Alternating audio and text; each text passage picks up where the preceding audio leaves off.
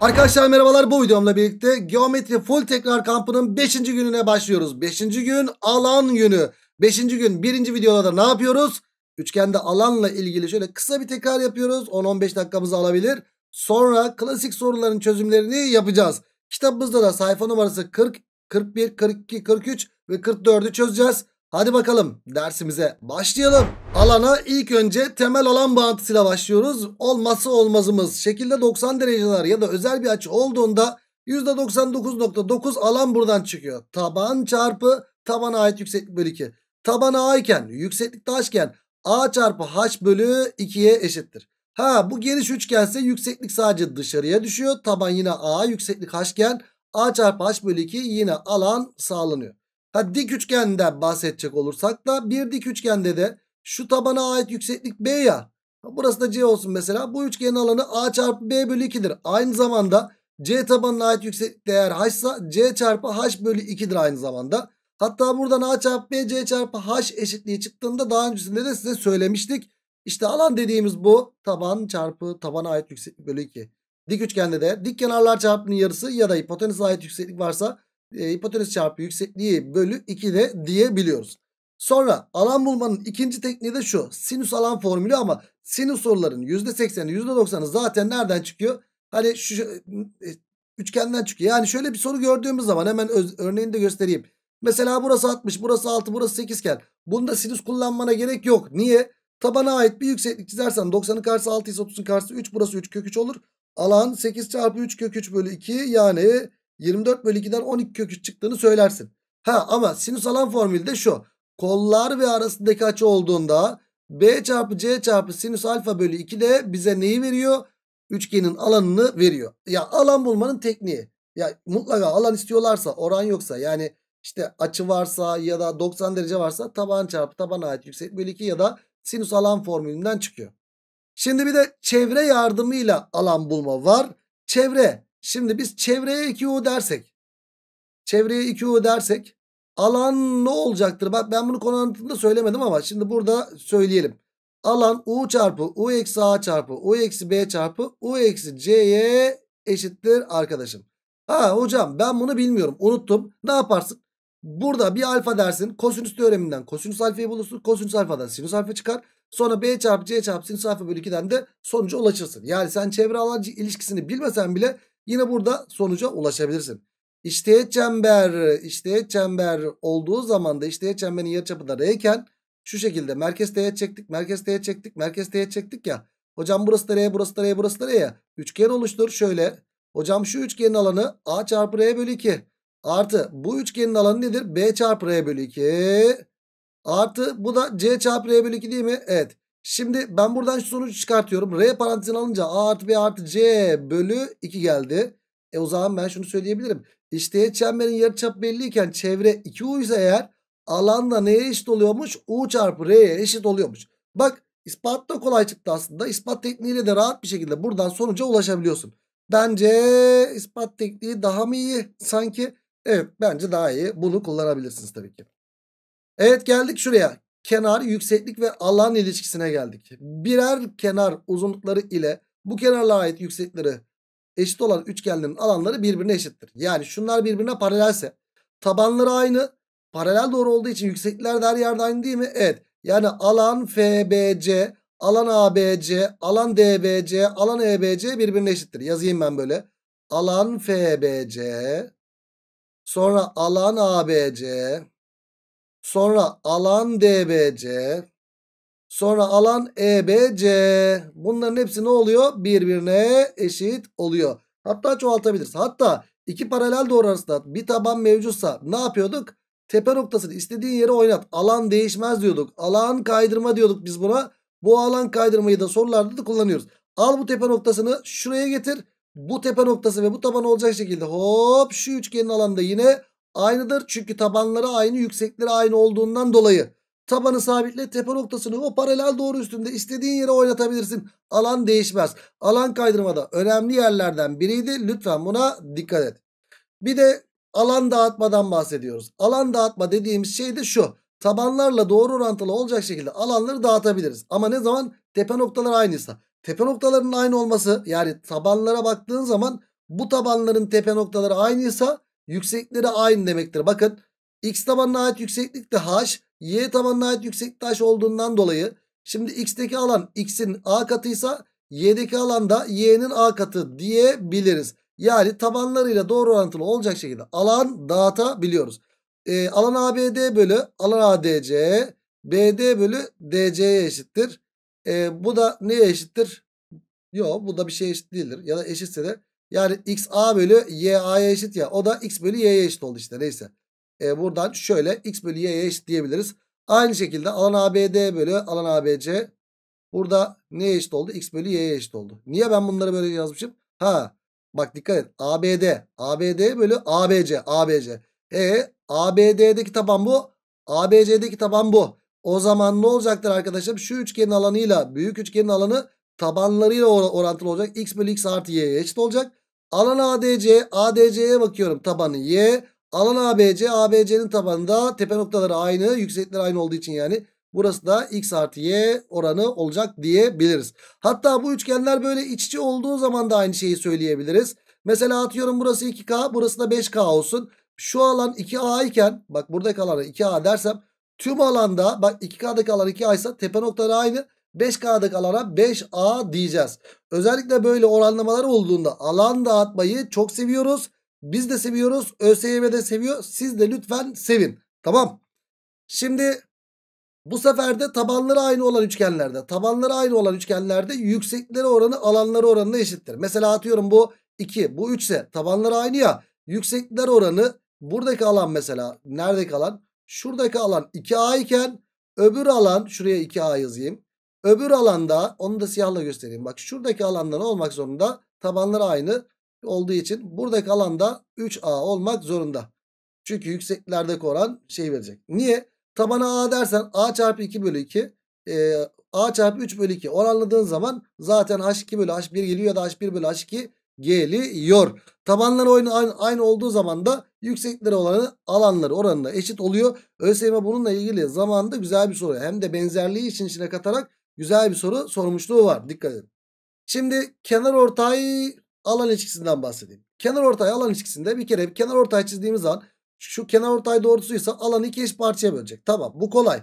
Çünkü çift çizdeki alan a, a, buraya A alan dersem çift çizdeki alan buradaki alan da A alan olmak zorunda. E peki tüm ağırlık merkezi tüm kenar ortaylar çizildiğinden oluyor. Yine alan dağıtmadan geliyor aslında ama 6 eşit parça var ya 6 eşit bölgeye ayırıyor. Hocam bu ağırlık merkezinden köşelere gittiğim zaman ne olacak? Bak ağırlık merkezinden köşelere gittiğim zaman da ispatta yan tarafta belli. Bak burası 2S, burası 2S, burası 2S. Yani şurada kalanlar birbirine eşit oldu. Yani bu alanlar da birbirine eşit oldu. Ama biz genelde şunu çok fazla kullanıyoruz. Kenar ortaylar olduğu zaman 6 eşit parçaya ayırıyor. Ağırlık merkezinden köşelere gittiği zaman da 3 eşit parçaya ayrıldığını unutmayalım. Geldik şuraya. Oy. Arkadaş böyle kenar ortaylar olduğunda bir de orta taban olduğunda buradaki oranlamalar S S S S S S sonra diğerleri de 3S 3S 3S 3S 3S 3S diye paylaşıyor. Ama bunu böyle gördüğünüz zaman bence bunu ezberlemeyin. Çünkü yukarıdan aşağıya 3 1 2 oranı var ya kendiniz benzerlikten de bulabilirsiniz bu arada. 3 1 2'yi yazdık daha sonra bak x'teki alan ise 3x'teki alan 3s. Bak şurayı buldum. S iken burası 3s derim. Sonra 2x'teki alan e, 2s olmak zorunda. Hocam şurası 2s olacak şöyle.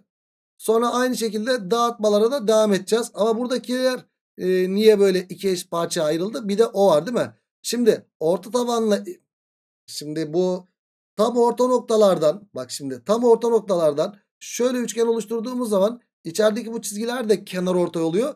O yüzden iki eş parça ayırıyor. Yani şunlar birbirine eşit ya şunlar da birbirine eşit ya şöyle. E, bunlar da birbirine eşit ya böyle. O yüzden burada da S S S S S diye ayrılıyor. E, o yüzden şunların eşitliğinden dolayı da 3S 3S buradaki 3S'ler de ondan dolayı geliyor. Normal klasik alan dağıtmasıyla da siz bunu yapabilirsiniz. Ee, bir de şu var tabii şunlar birbirine eşitken geçerli bu. Burada bir üçgende herhangi bir üçgende bu eşkenar üçgende olur normal bir üçgende olur. Orta noktalar olduğunda şuradaki alan esken diğerleri de S S S yapıyor. Ee, bunun ispatı zaten yine kolay. Ee, nereden gelecek bu? Alan dağıtarak yapabiliriz. İlk önce şunu söyleyeyim ben burada. Şunlar birbirine paralel değil mi? Paralel. Ee, burada paralel. Hatta burada şununla da şu birbirine paralel. Hocam burası K iken burası 2K ya. E bu da KK yaptı böyle. Ondan sonra burası A iken burası 2A ya. Burası da AA yaptı. Şurası B iken burası 2B. Bunlar da BB yaptı. ABK'lık üçgenler oldu bak hepsi. Kenar kenar kenardan ne oldu? Eş üçgen oldu. Bunlar eş üçgen olduğu için bu alanlarda birbirine eşit olmak zorunda. Tamam. Açı ortay alan ilişkisi. E, açı ortayda e, koldaki oran tabandaki oranlamayı eşitleyeceksin. Bu tabandaki oranlamaları bulduktan sonra buradaki oranlamaları da rahat bir şekilde yazarsın. Bir kere bu kolay. Ya atıyorum burası 6'ya 8 ise 3 bölü 4 oran var. E burası 3K burası 4K deyip burada kalan 3A ise burada kalan 4A diyebilirsin. Tabi tepe noktası aynı olduğundan dolayı. Bir de işleyiş çemberin merkezi olduğunda da işleyiş çemberin merkezi de şöyle köşelere gittiğinde de şimdi burada kollara çizilen dikmeler eşit ya. Dikmeler eşit olduğu için yüksekleri eşit olan üçgenlerle karşılaştık. O yüzden tabanlarıyla doğru orantılı. Yani işleyiş çemberin merkezinden de köşelere gittiğimiz zaman A'da kalan A'nın S katıysa B'de kalan B'nin S katı C'de kalan da C'nin S katı yapmak zorunda. Evet geldik kenar oranları alan ilişkisi. Arkadaş şöyle bir kenar oranlamaları varsa bunu da örnekle göstereyim istersen. Yani şurası K burası 3K burası atıyorum 2A burası da 2A'ya 3A olsun mesela burası da. Bu 4K diyeyim buraya. Biz normalde böyle bir şey gördüğümüz zaman klasik alan dağıtmasıyla yapabiliriz böyle soruları. K'da kalan A ise hop üçgen oluştururuz. 4K'da kalan 4A. 2A'daki 5A ise 5A bölü 2 olur. A'daki 3'teki de 15A bölü 2 olur deyip burada kalanları bu şekilde paylaştırabiliriz. Ama burada 15 bölü 2 ile uğraşmak için buraya 2 dersin. K'daki 2A ise 4K'daki 8A olur. 2A'daki 10A ise 5 katı 5 katı o zaman burası da 15A olur dersin. Aa biz normalde böyle bir şey gördüğümüz zaman şu şekilde de yapabiliyoruz. Bak dikkat et 2, 8, 15 çıktı. Ee, 2, 8 ve 15 çıktı. Yani burası 2 iken burası da kaç oldu? Dikkat et 23 oldu. Unutma. 2'ye 23 yazıyorum buraya. Tamam. Şimdi bunu bu şekilde de yapabiliriz. Birer açıları aynı olan iç olan üçgenlerde katsayılar çarpımıyla üçgenlerin alanları doğru orantılıdır. Çünkü bunun alanı k çarpı 2a çarpı sinüs alfa bölü 2. Öbürünün alanında 5k çarpı 3a çarpı sinüs alfa bölü 2. Oranladığın zaman KA'lar gidiyor. Sinüs alfalar da gidiyor. Sadece katsayılar çarpımı kalıyor. O yüzden bu ikisinde katsayılar çarpımı nedir? Hocam 2 kere 1 2. Burası 2A iken büyükte katsayılar çarpımı ne? Burası 5K. Burası da 3A ya. 5 kere 3 15. 15A olacak burası. Değil mi? Şu 2A'ya kaç A demiştim ben buna? 3A demiştim pardon. Şurası silinmiş. E, o zaman burası 5A olacak şöyle. E o zaman şöyle şuraya bakacak olursak şöyle. 5 ee, kere 5 tamamı 25A olacak. Buraya da ne kaldı o zaman? 23A kalacak diyebiliriz. Evet bu şekilde de. Yalnız ne zaman yapıyoruz bunu? Birer açıları ortak iç içe olan üçgenlerde yapıyoruz. Katsayılar çarpı bile üçgenlerin alanları aynı. Bak dikkat et biraz önce de zaten ben burayı 2 burayı 23 diye bulmadım alan dağıtarak. Evet genelde alan dağıtmayı tercih ediyoruz. Ama bu şekilde geldiği zaman da bunu da yapabilirsin. Şuraya geldik. Burada da arkadaşım A, B, C, D, E, F diye bir şey varsa bunun bir formülü var. Bu şekilde oranlamalar olduğunda bunun bir formülü var. Burası S1 yani S1 bölü tüm alan alan ABC sorulduğunda ne yapacaksın? Birer atlayıp gidiyorsun. A çarpı C çarpı E artı diğer boştaki kalanların çarpımı BDF bölü sonra toplam A artı B C artı D yani A artı B C artı D ve E artı F diyorsun. İşte bu içteki alanın dıştaki alana oranını veriyor bize. Ama ben böyle bir soruyla karşılaştığım zaman sana daha farklı bir teknik göstereceğim. Nasıl? Şuradan yapacağım sana o soruyu. Tamam daha da güzel. Çünkü bu formül aklında kalmaz. Ben de bir kere e, aklımda kaldı unutmadım ama birer atlayıp gidiyorsun. A, C, E artı diğerleri boştakiler B, D, F. Sonra bölü A artı B, C artı D ve E artı F'nin çarpımı bu küçük alanın büyük alana oranı veriyor bize. Bir de şuraya gelelim. Benzerlik alan ilişkisi. Benzerlik oranının karesi neye eşitti? Alanlar oranına eşitti. E, burada benzerlik oranı A bölü artı B ya. A bölü A artı B'nin parantez karesi neye eşit olacaktır? S1 bölü tüm alana S1 artı S2'ye eşit olacaktır. E, mesela şöyle bir şey geldiği zaman 2'ye 3 geldiği zaman 2 bölü 5'in karesi 4 bölü 25. 4A iken buraya 25A yazma sakın. Çünkü bunlar iç içe tamamı 25A olacak. Buraya 21A kalacak diyeceğiz. Peki burada şunların hepsi birbirine eşit olursa ne olacak? Yine bizim klasik benzerlikten geliyor zaten bu. E, hocam 1 bölü 2'nin karesi 1 bölü 4 S ise 4S. 1 bölü 3'ün karesi 1 bölü 9 S ise 9S olacak. Buraya 5S kaldı. Ama bunlar birbirine eşit olduğunda 1, 3, 5, 7, 9 diye böyle böyle tek sayılar şeklinde de gidiyor. Haberin olsun. Bunu da unutursan yine benzerlik alan ilişkisinden zaten sonuçlara ulaşabilirsin. Orada bir sıkıntı yaşayacağını zannetmiyorum. Evet üçgende alan tekrarı bu kadardı. Tekrarımızı yaptık hatırladık. Hadi bakalım bununla ilgili klasik soruların çözümlerine başlayalım. 17, 15, 25 verilmiş. Hemen burada dik üçgenler var. 8, 15, 17 üçgeninden 8 çıktı. 15, 20, 25'ten burası da 20 çıktı. ABC üçgenin alanı tabana ait yükseklik var mı? Var. Taban 28, yükseklik 15. 28 çarpı 15 bölü 2 bize alanı verecektir. E bunlar sadeleşti. 14 burası. Bunu da 7 çarpı 2 şeklinde ayırayım ki. Bu 2 ile 15'in çarpımı 30. 30 ile de 7 çarpı kaç geliyor? 210 geliyor. Daha rahat bir şekilde çarpayım diye yaptım. Evet örnek biri böylelikle denizli bulduk. Geldik örnek 2'ye. Bak alanlar birbirine eşit verilmiş. Şu alanlar birbirine eşit verildiğinde beyaz alana lütfen dikkat edin. Alanları A A yazdık ya. Bu alanların eşitliğinde buradaki üçgende sadece bir kenar var. Hiçbir işimize yaramıyor. Bir kere bizim 6'yı ve x'i de kullanmamız lazım değil mi? O zaman ne diyeceğiz burada? Beyaz alana B diyelim. A, A artı B burası. Bak A artı B alanı neresi? Alan ABC. Aynı zamanda alan ABC şunu şöyle bir de alan ABC yazacağım. Sonra bir de aynı zamanda A artı B burası değil mi? Evet alan FBD. Bak. Şimdi dikkat edelim burada. Hocam şunu kırmızıyla gösteriyorum. Alan ABC'yi. A artı B. Öbüründe maviyle gösteriyorum. Alan FBD'yi. Bu alanlar birbirine eşit. Hem kırmızıda hem mavide maalesef tabana ait yükseklik yok. Oranlamada göre alan daha tamam. Çünkü buradaki oran isteniyor zaten bizden. Ama kırmızı ve mavi üçgene baktığımız zaman şuradaki açı ortak değil mi? Ortak. Ha açı ortaklığı var. Açı varsa açıyla ilgili hangi alan formülü aklımıza gelecek? Sinüs alan formülü. O zaman kırmızı alanı yazsak. Kırmızı alan nedir? Hocam x çarpı 8 çarpı x çarpı 8 çarpı sinüs alfa bölü 2. Aynı zamanda mavi alan nedir? Mavi alanda 6 çarpı x artı 3. 6 çarpı x artı 3 çarpı sinüs alfa bölü 2 değil midir o da? Evet. E sin alfa bölü 2'ler gitti. Her ikisi de birbirine eşit. O yüzden sin alfa bölü 2'ler gitti. Şu sadeleşti 4. Bu sadeleşti 3. Buradan 4x eşittir 3x artı 9 yapar. Ve x'i de böylelikle kaç buluruz? 9 buluruz. E, genelde trigonometri kısmında karşımıza çıkabiliyor. Ama geometride de karşımıza çıkabilir diye burada da bu soruyu da yazdık. Çünkü sinüs alan formülünü biz geometride anlatıyoruz değil mi? Evet örnek 2. Böylelikle Balıkesir geldik örnek 3'e.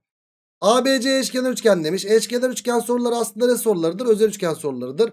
60-90 ise burası kaç oldu? 30 oldu. Neredeki üçgende? Şuradaki üçgende. E bunu yazdıktan sonra e, 60-90 ise burası da 30 oldu. E burası da 30. Bak ne güzel kenar çıktı. 2'yi yazdım hemen. 30'un karşısı 4 ise 90'ın karşısı 8. 8'i yazdım. Bir kenar eşkenar üçgende 10. Diğer kenarda 10. Diğer kenarda 10'dur. ABC üçgenin alanı soruluyor bize. Eşkenar üçgenin alanı a kare kök 3 bölü 4'tü. O da 25 kök 3 gelir. Evet üçüncü soru Ceyhan. Geldik dördüncü soruya. 16, 17 ve 17 verilmiş. Ha dur. Şimdi burada saçma sapan yerdeki bir alan isteniyor. Bir kere 5 ve 12 var burada. 5'te kalan 5A ise 12'de kalan 12A diyebiliriz. Ama burada x kenar var hocam. 17'ye 17. İkizkenar üçgende taban da mevcutsa insan olan ne yapar? Tabanına ait yüksekliği çizer hocam. E 8 8 diye böldü. 8 17. Ne üçgeni? 8 15 17 üçgeninden burası 15 çıktı. Ben 5A'yı direkt bulamıyorum ya da 12A'yı direkt bulamıyorum ama toplamda 17A büyük üçgenin alanı 17A alanı neye eşit? Hocam taban çarpı yükseklik bölü 2 eşit. 16 çarpı 15 bölü 2 eşit. Şunlar sadeleşse 8. Bu da aslında 4 çarpı 2. 2 ile 15 çarpsam 30. 4 kere e, 8 ile 15'i ben direkt çarpabilirdim zaten ya. 40 120. Neyse A'yı da böylelikle 120 bölü 17 olarak bulduk. Ama bizden 5A isteniyor. 5A alanı da 5 çarpı 120 bölü 17'den o da 600 bölü 17 gelir mi? Gelir. Cevap E limit oldu 4. soruda. Oran vardı alan dağıttım. X kenar vardı tabana ait yükseklik. Tüm alan taban çarpı yükseklik bölü 2'den çıktı. Bunlara dikkat et tamam. Geldik şuraya oran var. Alan dağıtacağız kardeşim. Hemen burada BD uzunluğu A iken burası 2A verilmiş. Yazdım şunu. EC uzunluğu B iken AE uzunluğu 3B verilmiş. Hemen bir yerden başlayalım. En küçük üçgenden başlıyoruz genelde. B'deki alana ben B'deki alana A alanı diyecek olursam 3B'deki alan 3A'dır. Tepe noktaları aynı bak. B tabanlarına göre bakarken tepe noktaları burası yaptı. Şimdi 2A'dan A'ya geçeceğim. 2A'dan A'ya geçerken 2A'da kalan A ise A'da kalan A bölü 2 deme. Çünkü 2A'dan bak 2A'dan A'ya geçerken tepe noktaları A değil mi? 2A'da tepe noktası A'ya kadar gideceksin. Yani toplamda 4A alanı var. 2A'da kalan 4A ise eğer 2 katı A'da kalan da 2 katı 2A deriz. Çünkü doğru orantı vardı bunlarda. E o zaman bu alanların toplamı 3, 5, 6A yaptı. 130, 62'ye eşitmiş. E 162'yi ben 6'ya bölsem 6 kere 3 18 6 kere 2 12 42 27 mi yapıyor? Evet A'yı buradan 27 olarak bulduk. Bizden ne isteniyor kardeşim? A, D, E 3A isteniyor. 3A isteniyor. A yerine 27 yazarsak 3 çarpı 27'den cevap 81 çıkar. Yani cevap denizli oldu 5. soruda. Geldik 6'ya. ABCD dörtgenin alanı 240. Tüm dörtgenin alanı. Bir de burada oran verilmiş. Alan dağıtma var. 3K'ya 5K'yı yazdım. ED'ye 5K yazdım. BE'ye 3K yazdım. Bak 3K'da kalan 3A ise 5K'da kalan 5A neye göre baktım ben burada? Hocam şu tabanlara göre baktığımda tepe noktası burası iken böyle yazabilirim. Sonra buradakiler boş kaldı. Aa burada da 5K'da kalan 5A demeyelim de bu sefer 5B diyelim. Tepe noktası C'ye göre 3K'da kalan da 3B mi olur? Evet. Şimdi bana verilenlere bakalım. Dörtgenin alanı. Hocam dörtgenin alanı toplamda 8A artı 8B değil mi? Evet. 8A artı 8B alanı bize kaç verilmiş? 240 verilmiş. 8'e böl A artı B buradan 60 çıkar. Benden ne isteniyor? Alan ABC isteniyor. ABC yani 3A artı 3B isteniyor. Yani 3 parantezinde A artı B isteniyor bizden. E burada B zaten A artı B zaten 60 değil mi? O zaman 3 ile 60'ı çarpımı kaç yapıyor? 6 kere 3 18 yani 180 çıktı. Bir dakika bu 60 mıydı? A artı B 60. 3A artı 3B isteniyor. Ay bir yerde hata yaptım. 3 kere ay A artı B 248'e böldüğüm zaman 30 değil mi ya? 30. E o zaman burası da ne? 30. O zaman 3 ile 30'un çarpımında kaç çıktı? 90 çıktı. Cevap Edremit oldu 6. soruda. Geldik 7'ye. G ağırlık merkezi. Ağırlık merkezi olduğu zaman ben 6 tanesi çizdi. 3 tane ağırlık merkezi çizildiğinde biliyorum. Hop şunu da çizersem alanları eşit 6 parçaya ayırıyordu. Ağırlık merkezinde bunu kullan. Yani buradaki alanların hepsi A A A A A A diye ayrıldı. S1 bölü S2 isteniyor bizden. S1 2A'ya eşit oldu. S2 de 2A'ya eşit oldu. 2A bölü 2A'dan cevap 1 çıkar. Yani örnek 7 Akçay oldu. Geldik örnek 8'e. G noktası ağırlık merkezi demiş. 8 ise burası 4 değil midir? Evet. Ağırlık merkezinde 2'ye 1 oran var. Ağırlık merkezinden geçen kenar ortaydır. 4 kök 5 ise burası da 4 kök 5'tir. E 4 var 4 kök 5 var. Pisagor bağıntısı var burada. 1 2 kök 5 üçgeninden burası 8 çıkar. 8 ise burası da kaç çıktı o zaman? 6, 4 çıktı. Çünkü 1'e 2 orandan dolayı. ABC üçgenin alanı isteniyor bizden. E ben şimdi şunu çizebilirim. Bunu çizdikten sonra 6 eşit parçaya ayırdığını söyleyebilirim. S, S, S, S, S, S, S, S diye. E burası da 90 derece ya. S alanı da belli zaten. S alanı ne eşit? Bir kenar 4. Bir kenar 8. Yani dik üçgenin alanı 4 çarpı 8 bölü 2'ye eşit. 32 bölü 2'den 16'ya eşit oldu. S 16 ise üçgenin alanı ne olacak? 6S olduğundan dolayı S yerine 16 yazarsam cevap kaç çıkıyor? 96 çıkıyor. Evet böylelikle cevabı 96 yani Edremit bulduk örnek 8'de. Geldik örnek 9'a. NA veya A. NA dediğimiz açı ortay veya A dediğimizde kenar ortay verilmiş. Bu açı ortay doğrusunu kullanalım. Bu açı ortay doğrusuysa kollarda 6 bölü 10 oran var. 6 bölü 10 3 bölü 5 değil midir? Evet. Yani tabandaki oran tabii şu açı ortay. Dikkat açı ortay olan bu. Açı ortayın tabanındaki oran 3'e 5 olacak. Yani 3A ise burası 5A mı olacak? Evet. Şimdi bu da kenar ortay doğrusuydu. 8A'yı 2 eş parçaya bölecek. 4A 4A olacak. Buraya A kaldı. E şimdi ben buradaki A'da kalan A ise 4A'da kalan 4A 3A'da kalan da 3A dağıtımını yapabilirim.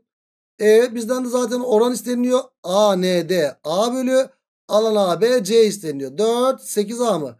Evet cevap da böylelikle 1 bölü 8 yapar. Örnek 9 Edremit oldu. Geldik örnek 10'a ağırlık merkezi ve paralellik verilmiş. Bunlar paralelse bir kere ağırlık merkezinden paralel çizildiğinde yukarıdan aşağıya 2'ye 1 oran yok muydu? Vardı. Bunun ispatı nasıldı? Hop çizdiğinde 2'ye n, n oran var ya. Hocam 2'ye 1 oran 2'ye 1 oran. Burada da 2'ye 1 oran oradan yapıyorduk. E şimdi paralel doğrular arasında bir üçgen var. Alan kaydırma. Alan kaydıracaksın. Tabanı sabit tut bakayım. Bu tabanı sabit tutup burada kalan 16'ymış. Tepe noktasını istediğim yere oynatabilirim. İster en sağa ister en sola oynatayım. Hiç fark etmez. Hadi aldım bunu buraya getirdim. En sola getirdim. Tepe noktası bu. Taban burası iken hop üçgenin alanı şurası yapmaz mı? Yapar. Evet bu üçgenin alanı eskiden 16 idi. Şimdi de 16 oldu mu alan kaydırmadan dolayı? Evet. E şimdi soru daha klasik bir hale dönüştü. Şöyle bir şey oldu. Burası A, burası 2A, burası 2B, burası da B oldu. Ve burada kalan 16 değil mi? Evet. A'da 16 ise 2A'da kalan kaç yapar? 32 yapar. Şimdi sen yap. Düşün. 2B'den B'ye geç bakayım. 2B'de kalan 32 ise B'de kalan 16 yapanların saçını başını yolarım. Sakın. 2B'den B'ye geçerken bak B'deki tepe noktası burası değil mi kardeşim? Çünkü ne yapıyorsun? 2B'den B'ye geçeceksin. 2B'deki 32 dersen tepe noktası burası alırsın. Olmaz. Birinde tepe noktası burası birinde burası olacak. Tepe noktaları aynı olan yerlerde alan dağıtıyoruz. 2B'den B'ye dağıtırken tepe noktası burası olan da 32 artı 16'dan 48. 2B'de 48 ise B'de kaç yapar? 24 yapar.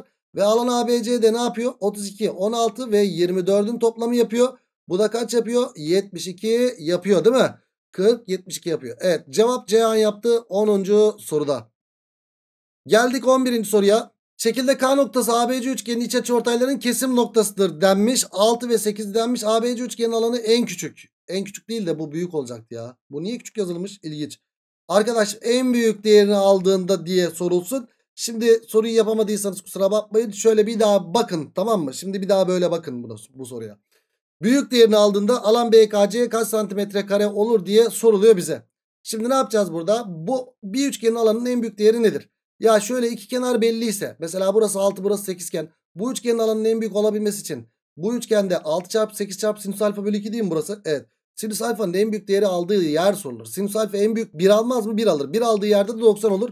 Yani bir üçgenin en büyük değeri olması için iki kenar vermişse iki kenar arasındaki açının 90 derece olması lazım. Bunu unutma. Tamam. 6 verilmiş 8 verilmiş bu üçgenin en büyük değeri olması için aradaki açı ne olacakmış? 90 derece olacakmış. E o zaman burası 90 derece olacaksa 6 8 10 üçgen oldu burada. E hocam bu tabanlarla doğru orantılı olmaz mı? Çünkü açı ortayların kesim noktası burası. Kollara çizilen dikmeler eşit yükseklikler aynı ya. İspatını söylüyorum sana. Yükseklikleri aynı olan üçgenlerde alanlar tabanlarıyla doğru orantılıdır. Yani alttaki alan 6S ise 8'deki alan 8S 10'daki alan da 10S diyebiliriz. E burada toplamda 18 24S alanını bulabilir miyim ben? Dik üçgen ya. Dik üçgenin alanından bulabilirim. 6 çarpı 8 bölü 2'den. 48 bölü 2'den 24 yani S'i de buradan 1 olarak buluruz. Alan BKC isteniyor bizden. Alan BKC'de 10S olduğundan S yerine 1 yazarsam cevap 10 çıkar. Yani örnek 12 böylelikle Balıkesir çıktı. Geldik örnek 13'e. Şimdi burada alan dağıtmayla yapabiliriz. Hatta iki tane soru tipi aynı. Ben birini alan dağıtmayla yapayım birini de farklı yoldan yapayım. Ne demek istediğimi anladı bazı arkadaşlar ama olsun. Şimdi bir yerden başlayalım. Alan dağıtalım. Hocam nereden başlayalım? Şuradaki üçgenden başlayalım. Şimdi burada 4, 4 tabanına 5 tabanına bakarak mı gideyim? 6 tabanına bakarak mı gideyim? Sanırım alt tabanına bakarak gideyim. Çünkü 4'teki 4A iken hop üçgen oluşturursam 5'teki 5A sonra 6'daki 9A oluyor. 6'nın katı olmuyor. Ondan dolayı sıkıntı. Ee, burada 6A diye başlayayım. O zaman 6 alttaki 6A ise tepe noktası burasına göre baktım. O zaman 2'deki hop tepe noktası orası olana göre üçgen oluşturabiliriz. Alttaki 6A ise 2'deki 2A diyebilir miyiz böyle? Evet. Sonra burada 3'te de şöyle yapsam hayır. Bak ne oldu? Şurayı garip bir şekilde kesti. Bu işime yaramaz. O zaman benim bu tarafta işim bitti bu tarafa geleyim. Şimdi 4'tekine bak 4'teki 6A değil bak. 4'ten 5'e geçerken tepe noktaları F değil mi? Evet. 4'teki 8A ise 5'teki de o zaman bak 2 katı 2 katı 10A olur o zaman burası. O zaman 5'teki 10A ise tepe noktası burası olan da hop şunu şöyle çizersem 5'teki 10A ise 2 katı 2 katı o zaman burası da 2A olur. Şimdi sol tarafta işim bitti sağ tarafa gelelim. Bak 8'deki alanı buldum. 8'den 3'e geçeceğim tepe noktası da burası olan. Boşlukta değil mi? 8'deki alan kaç? 8, 12 daha 20. Bak dikkat et. 8'deki alan 20A. 8'deki alan 20A ise 1'deki alan 20A bölü 8 yapar. Yani 4'e böl 5A 4'e böl 2 5A bölü 2 yapar. 3'teki alan da kaç yapar o zaman? Bak 8'deki alan dikkat et. 18 20A yaptı burası. 8'deki 20A ise o zaman 1'deki 20A bölü 8 yapar. 5A bölü 2 yapar yani. E ben 3'teki alanı istiyorum. Oran orantı yöntemini kullanıyorum yani. O zaman 3 çarpı 5A bölü 2 yani 15A bölü 2 yapar. Ya da şöyle de düşünebilirsin. Hocam 8'deki alanı dağıtamıyorsun ya. Bunu 8'in katı yapayım. Yani 8'in katı olması için toplamda burası 20 ya. 22 ile çarpsan 40 yapıyor. 8'in 2 katı oluyor. Yani buradaki en baştan itibaren hepsini 2 ile çarpıp o şekilde de yapabilirsin. Ya da direkt buraya 15A bölü 2 de diyebilirsin. Ama oranlarken şurada rasyonel sayılarla uğraşacağım. Ben niye rasyonel sayıyla uğraşayım? Gel burayı böyle 8'in katı yap. 2 ile çarp. Hepsini 2 ile çarp. 2A, 4A, 20A. Burası da 4A mı oldu? Evet. Toplam burası 48A oldu bak gördün. 8'deki 48A kaç katı? 6 katı oldu. Dikkat bir daha söylüyorum. 8'deki 40 pardon 8'deki 40 8'deki 40A oldu. Yani 40A olması nedir arkadaşım? 40A olması 5 kat demek. O zaman burada da 5 katı 15A olacak burası. Şimdi alan DEFG DF taralı alan yani 24A bölü alan ABC alan ABC isteniliyor bizden. 40'ı burada 15'i burada toplamda 55 mi yaptı? Evet. O zaman 24A bölü 55A'dan cevap 24 bölü 55 çıktı mı arkadaşlar? Çıktı. Burada sana bir şey daha öğretmiş oldum. Rasyonel sayıyla uğraşmamak için burada 15 bölü 2 geldi ya. Dağıtamadığın yerde belli bir sayıyla da çarpıp dağıtamadığın taban katı yapmak zorundasın. Ha şöyle de yapabilirdin sayı büyüyebilirdi. Ben genelde şunu diyorum. Dağıtamadığın yerde dağıtamadığın tabanla çarp. Hani 8'deki alanı dağıtamadım ya buraya. Direkt 8 ile de çarpabilirdim ben bunların hepsini. Sonra işte 8'deki bilmem neyse 3'teki de bilmem ne deyip o şekilde de yapabilirdik ama sayı büyürdü. Burası 20A ya 8'in katı 2 ile çarparsam 40A o da güzel bir mantık. Bunu da unutma. Evet örnek 13 Balıkesir bulduk geldik örnek 14'e. Şimdi bunlar eşit parçalara ayrılmış. A A A A burası da B B B B diye eşit parçalara ayrılmış. Şimdi burada da yine alan dağıtarak gidebilirsin. A'daki 2A'daki 2B'deki bilmem ne B'deki bilmem ne şöyle yapıp sonra A 3A'daki bilmem ne A'daki bilmem ne deyip oradan yapabilirsin. Ama bu sefer bu soruyu şuradan yapacağım. Şimdi tepe noktaları aynı olan üçgenlerde iç içe olan üçgenlerde bak şuradaki açısı aynı ya bu köşede. Şu üçgen var bu üçgen var ve bu üçgen var. İç içe olan üçgenler var.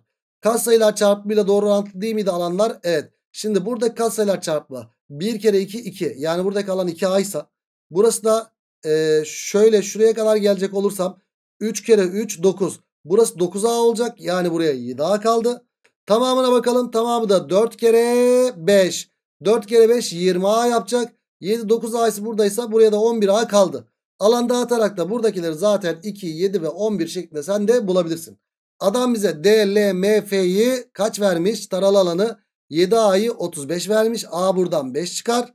Bizden ne isteniyor? Alan ABC isteniyor. Alan ABC'de 20A değil mi? 20A. A yerine kaç yazacağız? A'yı 5 bulduk ya. 5 yazarsak cevap 100 çıkar. Evet cevap Ceyhan oldu. İki soru ve aynı mantıktaki iki soruyu farklı türlerde çözdüm. Birinde alan dağıttım. Birinde de iç içe bit köşeleri aynı olan iç içe üçgenlerde katsayılar çarpımlarıyla doğru orantılı olacak şekilde alanları yazdım. Bak bu da güzel teknik. Bunu paralel kenarda da kullanacağız. Haberiniz olsun.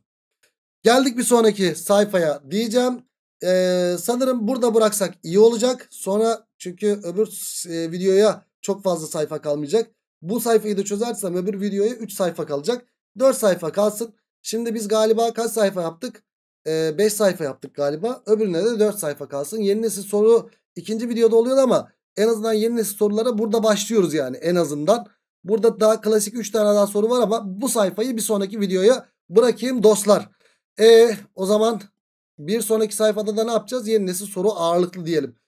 E o zaman bir sonraki derste yani 5. günün ikinci videosunda alan konusunun yeni nesil ağırlıklı olan testlerinde görüşmek dileğiyle kendine iyi bak. Hoşça kal.